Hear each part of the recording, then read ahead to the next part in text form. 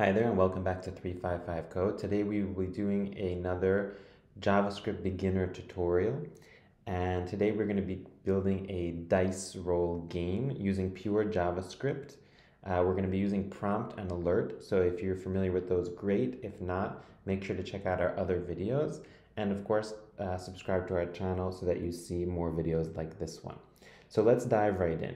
First of all, what we're going to want to do is get a user input to start our game.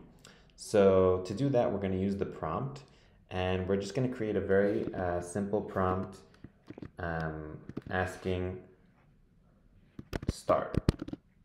Okay, question mark. That'll be our starting uh, question. And depending on the answer that we get here, we're going to start our game. So let's say um, if this prompt, uh, the answer to this prompt, will be equal to roll. Okay, that means our user typed in roll. Then we are going to roll the dice. Okay, uh, and basically everything that's going to go into here is what's going to happen after uh, we roll the dice.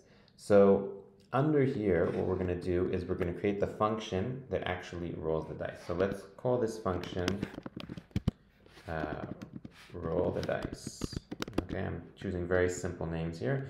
And here is basically um, what we're gonna uh, do when we uh, get the prompt roll. So just to check that everything is working, let's just put in a simple alert here. Um, we're gonna alert roll. And here we're gonna put our function, roll the dice. And uh, now run the code, start, let's say roll, Okay, roll. Great, this is working. Let's try another word that's not roll. No. Okay, nothing happens. Great. Okay, so our first step is done. And basically now we need to uh, actually roll the dice. So what is rolling the dice? We're going to give a random number between 1 to 6. So in order to get a random number in JavaScript, we need to use math.random. Okay, and this will uh, give us a random number between 0 and 1. Okay, so basically what we're going to want to do is um, multiply this by 6. Okay, uh, so now it's going to give us random numbers between uh, 0 and 6, and uh, we're going to add 1. Okay, so this basically gives us now random numbers between 1 and 7 uh, but it can also include decimal numbers. So let's show you what it looks like. So uh, let's run our code and start roll uh, and uh, nothing happened. So this should go under a return. Uh, sorry, I didn't put this in an alert. Uh, that, that was our problem. So we didn't tell the function to alert this and run roll and we got a random number, but we have lots of uh, numbers after the decimal point, and that is not like dice. We just want a whole number. So what we're going to need to use is something called math.floor, and basically that rounds uh, the number down. So basically, if I add math.floor here around the math.random, uh, then if I run our code, roll Excellent. Four. Okay, whole number. Let's do it one more time. Roll five. Perfect. Um, so our game is pretty much complete. We have a dice rolling game. The problem is that uh, we need to run our code each time in between rolling. Let's say we want to have a game where the person can continue rolling until they decide they don't want to roll the dice anymore. So let's um, add another prompt okay, right after our alert, and ask play again.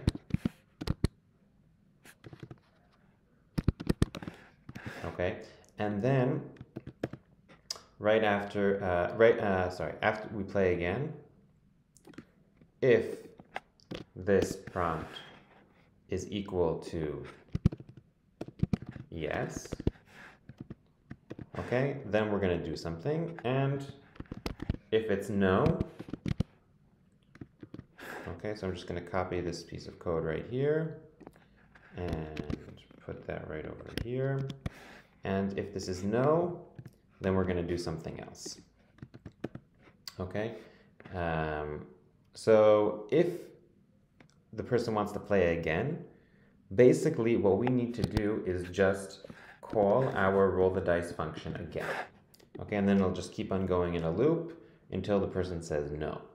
And if the person says no, then uh, we will just alert.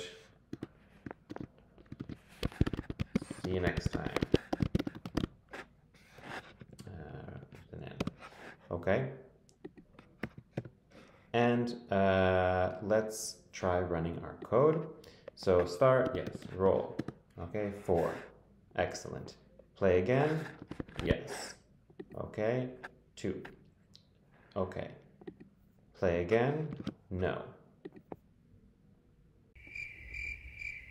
Um, after looking at our code, basically what's happening here is that we are calling the prompt twice. So we each time it enters the if statement, it calls the prompt. So what we want to do is actually call the prompt outside the if statement. So we're going to uh, just declare, let's say here, a variable. So let play again equal, and that's going to be equal to whatever the result is from our prompt. Um, and I'm assuming that you know what uh, variables are. If you're not sure, then you can check out some of our other videos. Um, and now, instead of checking if the prompt is equal to yes by calling the prompt, we're just going to uh, use play again. Okay, and basically what that means is now we're actually only going to prompt once, and then each time we are only going to uh, compare the result with uh, what we have in our if statement. So let's try running that code. Start, roll. Excellent. Play again. Yes. Okay. Play again. No. And see you next time. Perfect. So our code is working now. And in about five minutes, you just built a very simple uh, dice rolling game using pure JavaScript. Um, if you like this video, please give it a like. Please subscribe to our channel so we can share more great, simple uh, JavaScript content with you. And the code uh, will be in the description below. So see you next time.